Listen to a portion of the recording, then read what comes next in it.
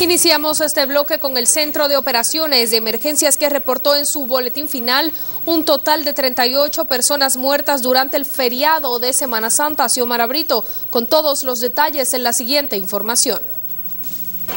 Este año, pese al gran despliegue para evitar accidentes y hechos lamentables durante el feriado de Semana Santa, el total de fallecidos en accidentes de tránsito fue de 31, por intoxicación alcohólica tres personas y asfixia por inmersión cuatro personas. En comparación con el año pasado aumentaron ocho personas el número de muertos. Eh, en el 2009 teníamos 56 personas fallecidas, 2010 32, 2011 30 y en este 2012 38 personas fallecidas.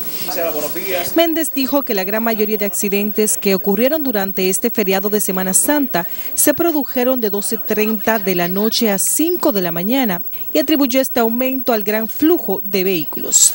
Cada año entra un nuevo parque vehicular a la República Dominicana. Inclusive, ustedes pueden buscar en la estadística de tránsito terrestre, se habla que mensualmente ellos piden por lo menos 11 mil licencias nuevas. Es decir, que hablar de, un nuevo parque vehicular, de hablar de un, mayor flujo de vehículos, esto implica, eh, esto implica que pueden ocurrir más accidentes de tránsito. Con relación a las inundaciones que se han producido en diferentes puntos del país, el Centro de Operaciones de Emergencia dio alerta roja para las provincias Monseñor Noel, Sánchez Ramírez y La Vega, mientras que para las provincias de Monteplata y San Cristóbal se mantienen en alerta amarilla. Según las estadísticas, con el transcurrir de los años, el número de afectados en los feriados de Semana Santa ha ido en aumento. Desde el Centro de Operaciones de Emergencia, Xiomara Brito, Noticias, Telemicro. Ahora nos vamos al ámbito judicial. La Oficina de Atención Permanente de la provincia Santo Domingo envió por tres meses a la cárcel de La Victoria a un hombre que se declaró culpable de asesinar a su hija de dos meses. Manuel Emilio Bautista mató a la niña de una puñalada hace varios días en un hecho ocurrido en la calle José Feliu del sector Vietnam Los Mina, municipio Santo Domingo Este. El padre había declarado a la Policía Nacional que le propinó la puñalada a la menor accidentalmente cuando sostenía una riña con con su esposa, aún no identificada, la que intentó herir con un arma blanca. Y el tercer juzgado de la instrucción de la provincia de Santo Domingo aplazó para el 7 de mayo el juicio preliminar seguido en contra de cuatro personas acusadas de sustraer una avioneta del aeropuerto El Higüero, nave que fue llevada a Venezuela donde todavía se encuentra. La jueza Yesenia Morales tomó la decisión al percatarse de que el imputado John Percival Matos no fue trasladado al tribunal desde la cárcel de Najayo, donde se encuentra guardando prisión, y sus abogados denunciaron que el grupo Punta Cana no ha entregado la matrícula del avión al ministerio. Yo quisiera que los dueños del avión aparezcan y vengan aquí a la justicia a reclamar como propietario porque no tiene la matrícula del avión. Ellos no podían formar parte del proceso porque nunca se presentó la matrícula. La matrícula es que quien designa el dueño del avión a quien supuestamente le frustraron su derecho con un robo. No hay derecho de propiedad, no hay robo. El Estado no puede sustentar una acusación por robo de un bien que no le es propio. Estos abogados solicitaron al tribunal aplazar la audiencia para otra fecha en vista de que Percy Balmatos no fue notificado en la cárcel donde se encuentra para ser conducido al tribunal.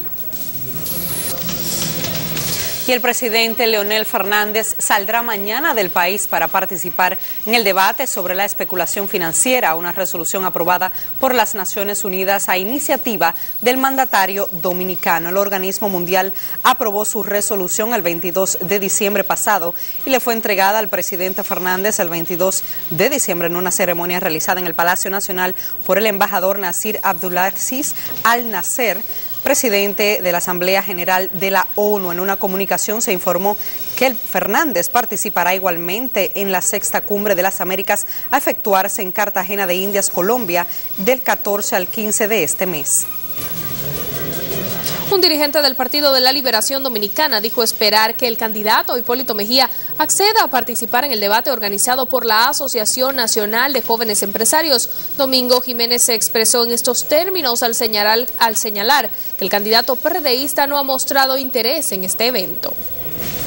Escrito hemos planteado las condicionalidades para nosotros asistir al debate. El Partido Revolucionario Dominicano ha estado pues buscando diferentes eh, formas para evadir esta eh, confrontación de ideas. Entrevistado en el programa matinal, dijo que la persona menos indicada para hablar de combatir la corrupción es Hipólito Mejía, ya que este flagelo reinó en su gobierno. Aparecen los tiempos de campaña. La cañada no se resuelve. Estamos cansados de este desastre. Y no arreglan la calle, vamos a seguir con esta huelga. Nada más se vuelven promesas y promesas y no hacen nada.